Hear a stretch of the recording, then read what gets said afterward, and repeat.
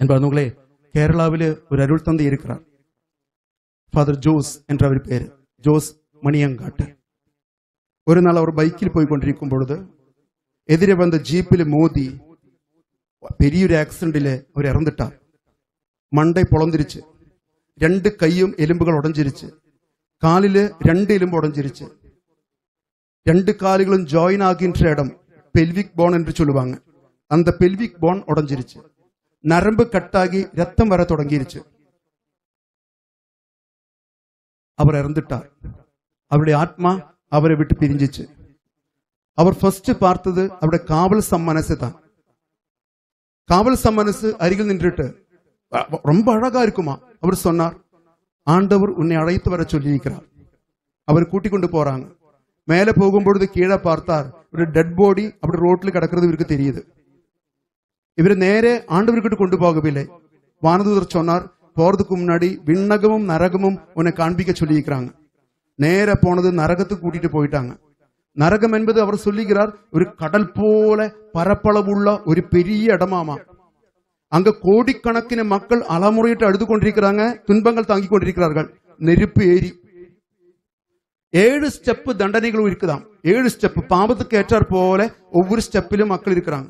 அவர் சொல்லுகிறார் நான் எதிர்பார்த்த பலரையும் பல அங்க கண்டிப்பா நரகத்தில் இருக்க மாட்டாங்கன்னு எதிர்பார்த்த பலரும் அங்க இருக்கிறது நான் பார்த்தேன். ஆனா பேசுவதற்கு அனுமதி இல்ல. இவங்க எல்லாம் சந்தித்தாராம். அடுத்தது வானதூதர் அங்கே இருந்து உத்திரஸ்தலத்துக்கு கொண்டு போனாங்களாம். உத்திரஸ்தலமும் இதே போல பயங்கர பரப்பளவுள்ள ஒரு இடமாமா.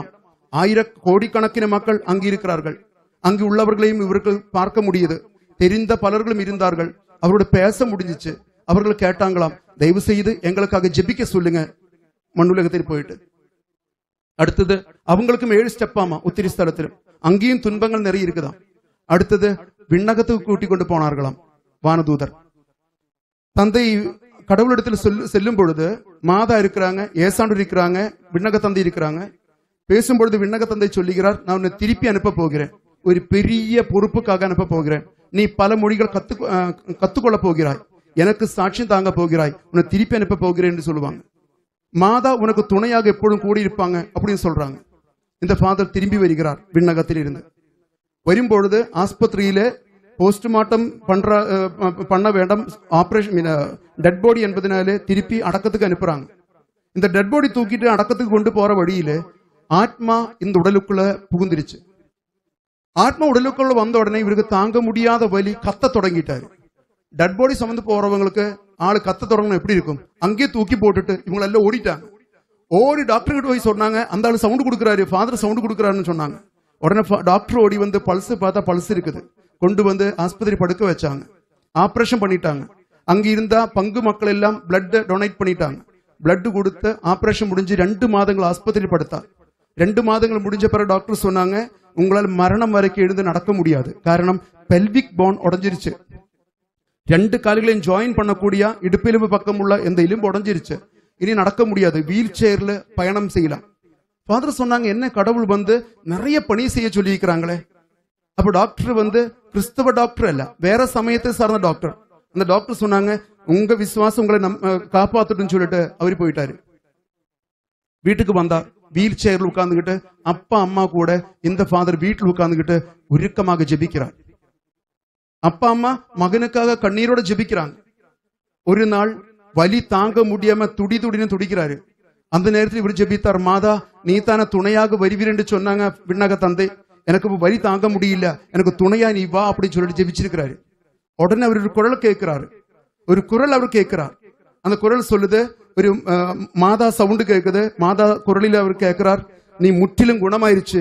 எழுந்திரிச்சு நடந்து என் மகனுக்கு நீ சாட்சியமா மாறு என்று சொல்லி முடிக்கிற உடனே இவர் எழுந்திரிச்சு நடந்தார் நடந்து எந்த வலியும் இல்ல எந்த பிரச்சனையும் இல்ல. நேர ஆஸ்பத்திரிக்கு போனார். டாக்டர் கிட்ட போய் சொன்னாங்க டாக்டர் நான் குணமாயிட்டேன். என் கடவுள் என்ன குணப்படுத்திட்டாருன்னு சொன்னாங்க. டாக்டர் எல்லாம் செக்கப் முடிச்சிட்டு சொன்னாங்க உன் கடவுள் உயிருள்ள கடவுள். சொன்னதோட முடியல அவரு. என்ன பண்ணிட்டாரு தெரியுமா?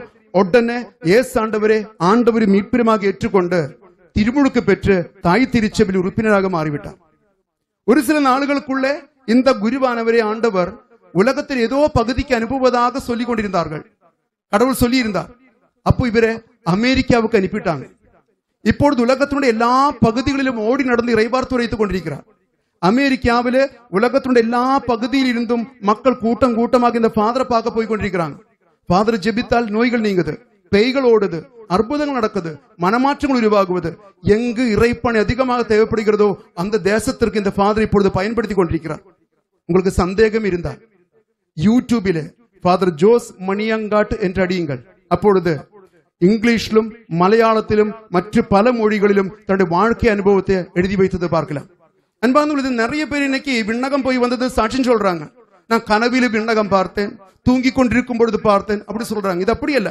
இறந்து போன சர்டிபிகேட் அவர் கையில் இருக்குது. இறந்து போன மனிதன் உயிரோட வாழ்ந்து முப்பத்தி ஐந்து ஆண்டுகளாக இன்னைக்கு அமெரிக்கா அவர் வேலை செய்து கொண்டிருக்கிற ஒரு குருவானவர்.